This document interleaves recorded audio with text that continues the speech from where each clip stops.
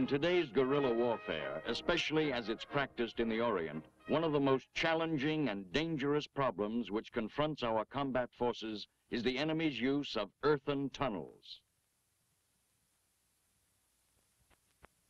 Tunnels and caves were used by the Japanese in World War II and by the Koreans during the conflict which followed. Once the line of battle had moved past them, and the area in which they existed was secured by our troops, these subterranean fortifications were permanently neutralized as a part of the area consolidation. Today, however, a different type of warfare is being waged. Rarely are areas held long enough to be thoroughly cleaned out. Instead, the major actions of our combat troops consist of search and destroy operations. Intensive drives through enemy territory with the primary objective of finding and destroying his forces and then moving on.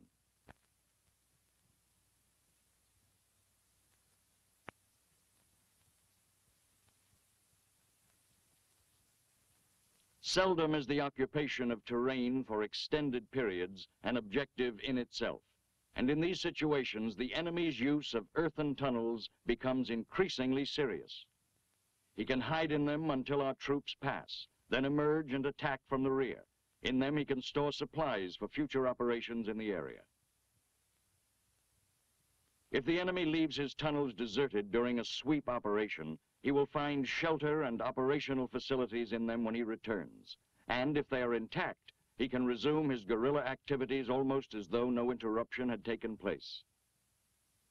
Thus, it is obvious that to effectively strike the enemy and destroy his ability to wage war in guerrilla situations, his tunnel shelters must be demolished or denied him as they are encountered. This is a relatively new but important military concept, for tunnel use is included in the doctrine of various armed forces, particularly in the Orient. In the future, this doctrine may well be applied not only to guerrilla warfare, but to any type of conflict anywhere in the world. Therefore, an understanding of earthen tunnels and the means of destroying or neutralizing them is essential to today's soldier. Earthen tunnels may be dug or utilized in military operations wherever the tactical situation warrants, although they are practical only where large civilian labor forces are available for their construction.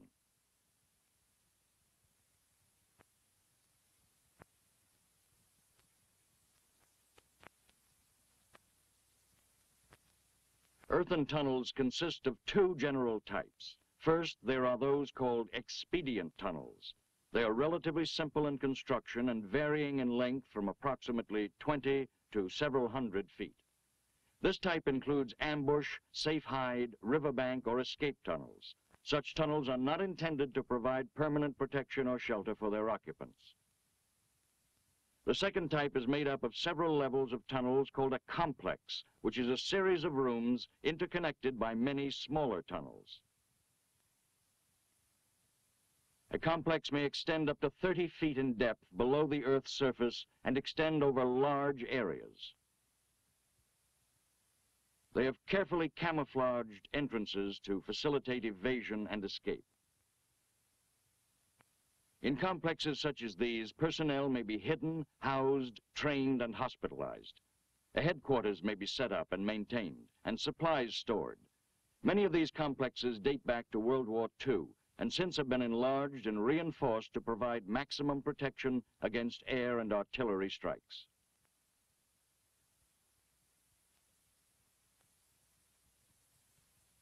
Such huge complexes are generally found away from populated centers.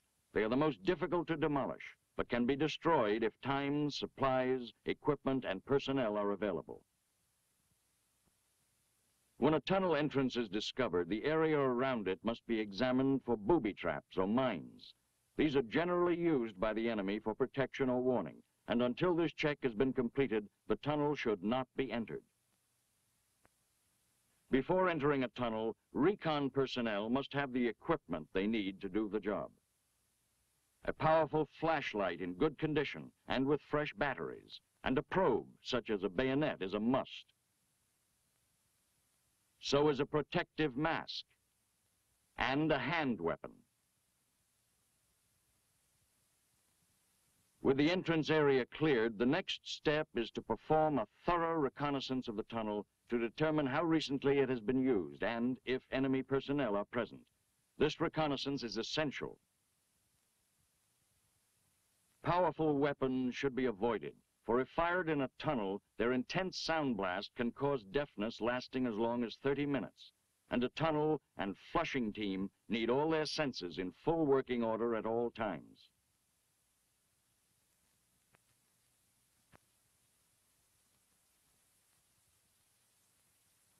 When a tunnel entrance shaft goes vertically into the ground, as here, the first man to enter it should be slowly lowered into the shaft head first to permit him to thoroughly check the entrance walls and floor for booby traps or mines as he moves into the tunnel.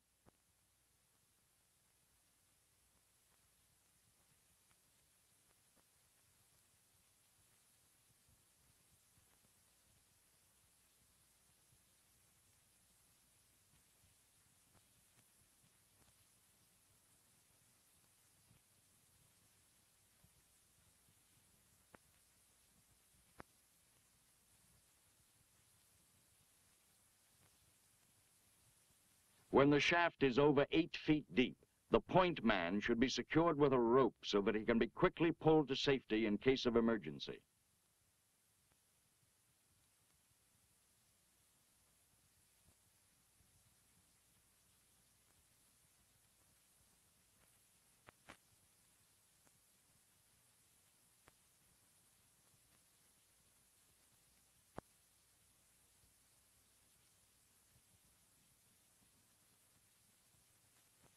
As the point man arrives in the tunnel, he carefully checks to be certain that no enemy is awaiting him near the entrance. If the area is clear, he works his way into the tunnel and awaits his backup man.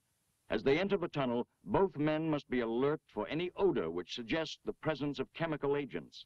And if such odors are detected, protective masks must be donned before continuing farther.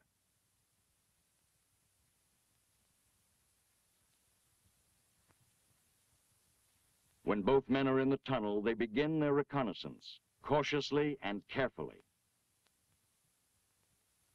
Initial reconnaissance is limited to the first 10 feet of a tunnel.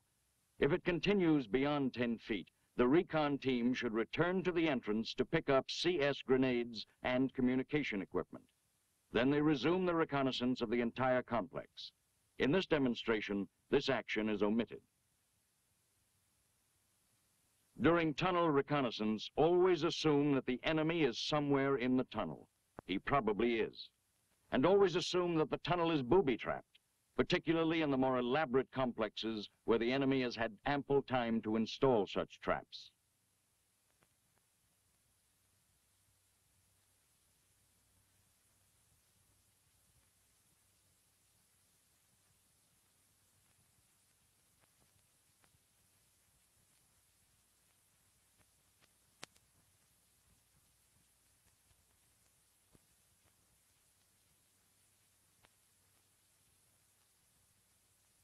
Carefully examine all surfaces of the tunnel, floor, walls, and ceiling, for booby traps or mines, as well as for false walls or hidden passageways.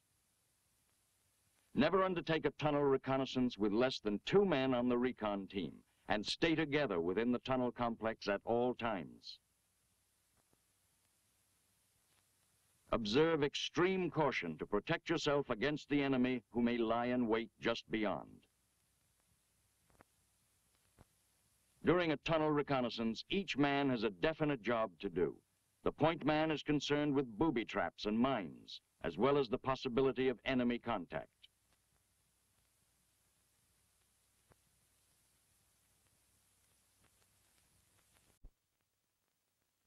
The backup man is alert for information of intelligence value. He also notes details of the tunnel construction and layout and estimates the depth of soil which lies over the tunnel complex throughout its entire length. This soil is called overburden. When the tunnel has been thoroughly explored and its extent, size, depth, and contents have been determined, this information is carefully and completely noted. Then the precise location of the tunnel is established. This information must then be reported through channels to the tactical commander.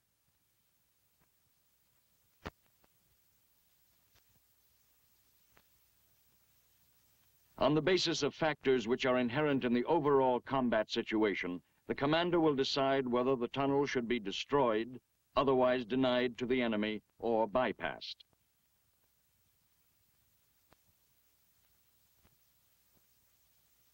The extent of desired demolition or denial may be left up to the unit commander. The factors which will determine the type of tunnel denial to be undertaken during combat operations will relate to the tactical situation at the time. First, how much time is available for destruction? How much time will the primary mission allow for such work? Second, how much time is necessary for total or partial destruction? These must be weighed against each other. Third, what equipment and personnel are required for the different types of denial in relation to the tunnel in question? Are such personnel and equipment available? Finally, how important is the tunnel or complex to the enemy? How valuable will it be on his return to the area? These are the things which must be considered in determining the type of tunnel destruction or denial appropriate to an individual situation. The methods of tunnel denial which may be employed in combat situations can be divided into three general categories. First, immediate denial, which can be completed in minutes with equipment normally at hand. Second, partial destruction, which also can be accomplished within relatively brief periods of time with available equipment. And finally, total destruction, which requires trained troops and equipment not normally carried into combat areas. The purpose of immediate denial tunnel action is to flush the enemy out of his hiding place and deny him its use for a decisive period of time. The results obtained are immediate, although of relatively brief duration.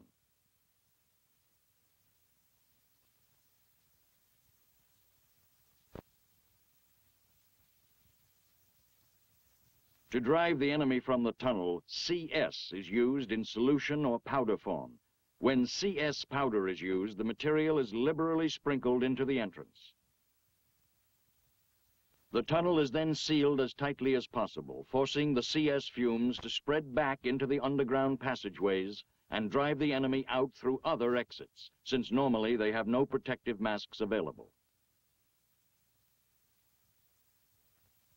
The M106 chemical dispenser can be carried by one man and may be used to blow chemicals into a tunnel.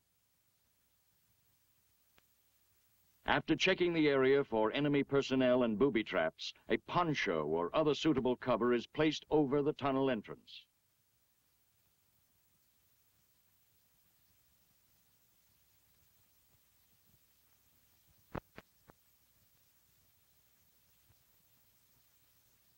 The discharge hose from the dispenser is inserted through the cover, ensuring that a tight seal is maintained around the hose.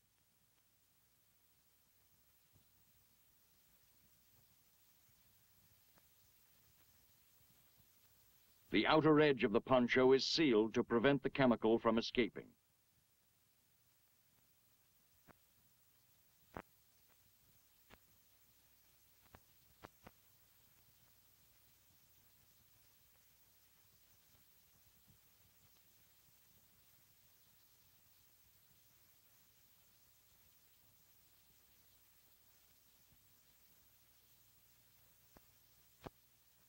After all openings are sealed, the engine is started.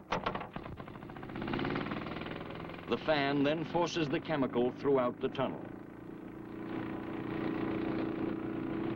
CS may also be introduced into tunnels by using CS grenades.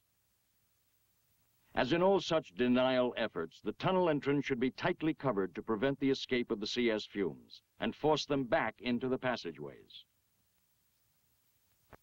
Partial destruction involves damaging the tunnel so that it will be immediately useless to the enemy and reusable only after considerable repair. Generally, concussion or fragmentation grenades are tossed into the tunnel or shaft entrance to collapse it. The destructive effect of these grenades will depend on the amount of overburden at the point of explosion. If the overburden is relatively light, the grenades may completely collapse the tunnel entrance or shaft and seal off the entryway. Even if complete collapse is not obtained, grenades will usually dislodge enough earth to effectively block the entrance. All entrances must be treated in this way to completely neutralize the tunnel complex.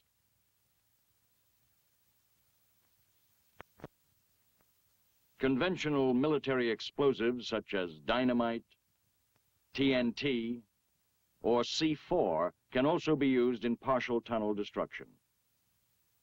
C4 is normally available under combat conditions in M37 demolition charge assembly kits.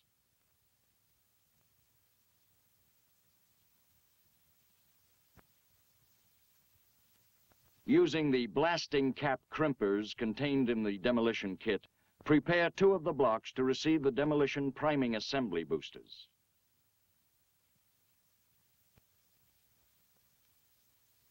Two of these assemblies are contained in each kit. They consist of five-foot lengths of detonating cord with a priming adapter and booster attached to each end. Place the boosters into two of the eight blocks.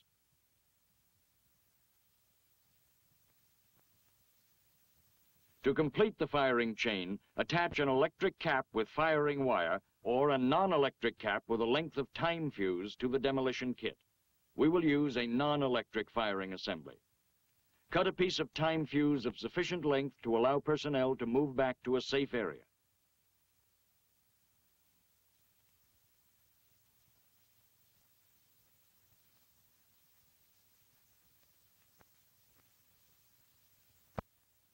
Place the non-electric cap onto the time fuse.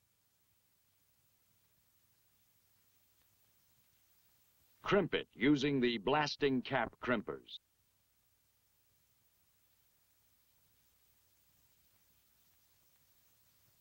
Attach the blasting cap to the five-foot length of detonating cord.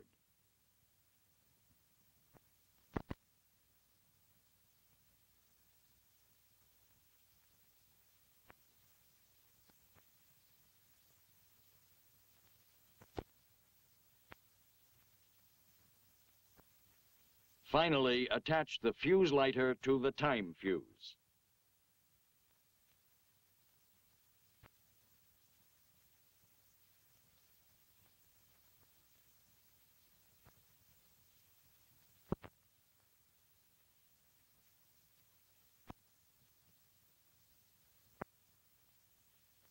When the explosive assembly has been completed, fire intensely into the tunnel entrance to drive back any enemy who may be waiting inside. Place the charge as deeply in the entrance as possible.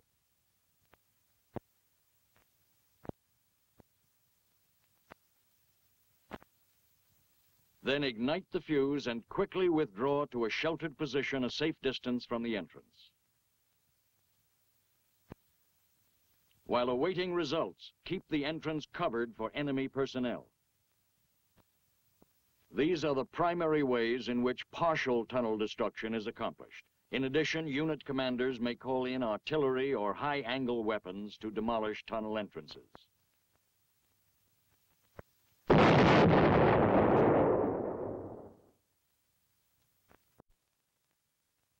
The total destruction of a tunnel is a job which should be handled only by specially trained troops, using equipment not normally carried in forward areas during combat operations. Thus, it obviously requires more time than is necessary for the partial destruction just demonstrated.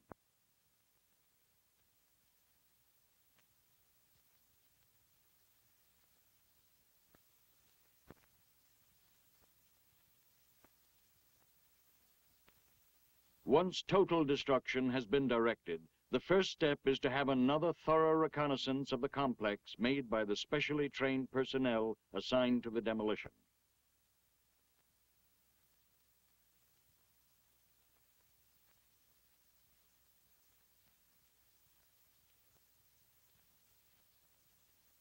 These men will make certain that the tunnels are clear, that no enemy personnel or booby traps have been overlooked in the earlier exploration.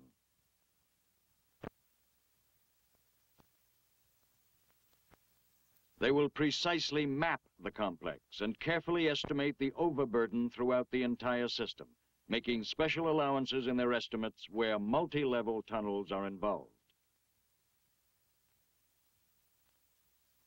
Based on the findings of this reconnaissance, the amount of explosive can be calculated and charge placement can be determined. Calculation is based on rule of thumb, which is developed through extensive experimentation and experience within the area of operation. It requires consideration of two factors, the amount of overburden and tunnel length. The rule of thumb requires that for overburden up to 10 feet, use two pounds of explosive per foot of tunnel length.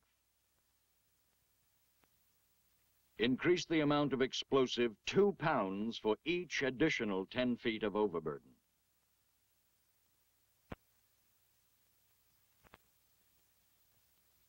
The charges should be ground placed at turns or corners of the tunnel, as well as at strong points. A type of explosive should be used which can be primed with detonating cord. All tunnel entrances which can be discovered should be blocked with sandbags, and the shaft should be filled with well-tamped dirt. This is particularly important for the more the explosive force is confined to the tunnel, the more destructive and effective it will be.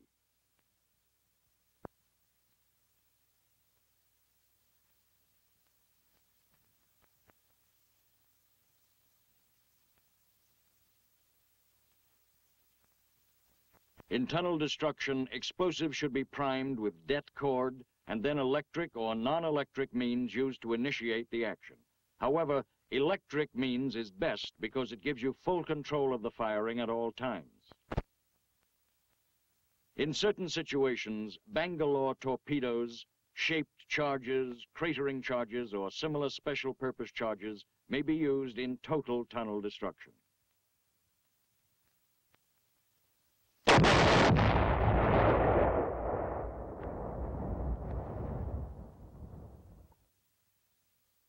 In its continuing search for more effective ways of destroying large enemy tunnels and complexes, the Army has developed this XM-242, Liquid Explosive Demolition Kit, for use with the powerful liquid explosive nitromethane. Each kit contains the equipment required to destroy a tunnel 500 feet long with an overburden of 10 feet. The kits can be combined to destroy larger tunnel systems having up to 30 feet of overburden.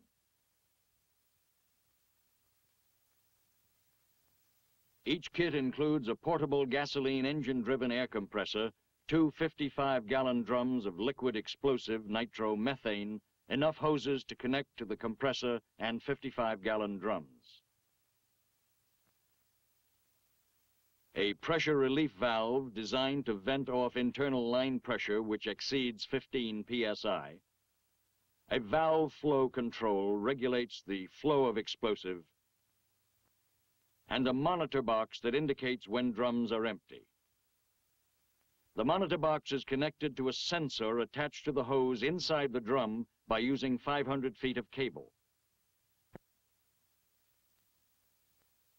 The kit also contains an arrestor that provides a safety device to prevent propagation of the detonation back to the drums and pumping equipment. Tools and accessories for assembly.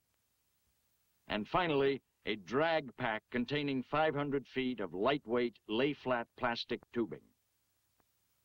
After the hose and generator are connected to the drums, this plastic tubing is paid out and must be tied off with a figure eight knot. Overhand knots will not hold. The wire for the monitor and firing wire are paid out.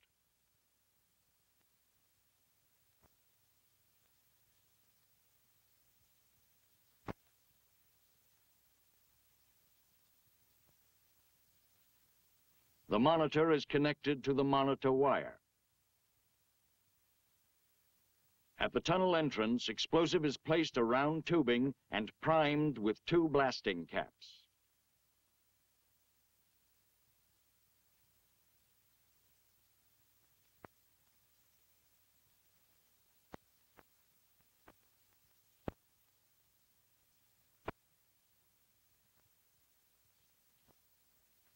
Blasting cap wire is attached to the firing wire.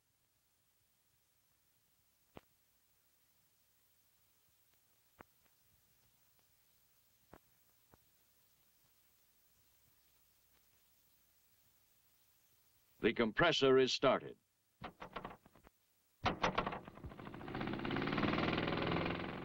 The safety valve is closed to start pumping the nitromethane into the plastic tubing. Be sure that nitromethane is flowing through the flow sensor module into the plastic tubing. Then move back to the firing point.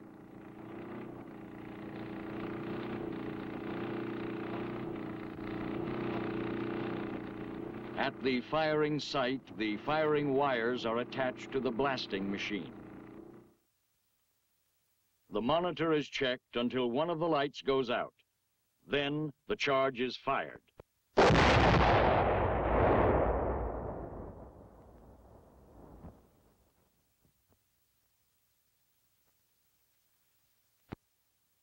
These, then, are the general principles of neutralizing or destroying enemy earthen tunnels in combat.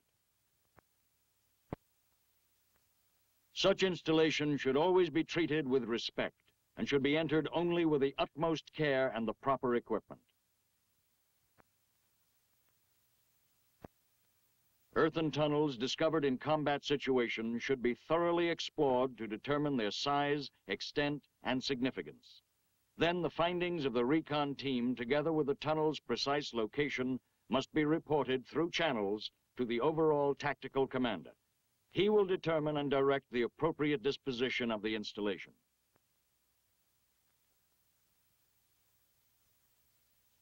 For immediate denial, CS in various forms may be used by combat personnel. For this to be effective, all entrances to the tunnel must be tightly contained to keep the agent from escaping. Combat personnel can accomplish partial destruction of tunnels by collapsing entrances with concussion or fragmentation grenades, as well as available conventional military explosives. Combat troops can perform denial or partial tunnel destruction as a part of their normal mission. Total destruction of a tunnel requires trained personnel with specialized equipment.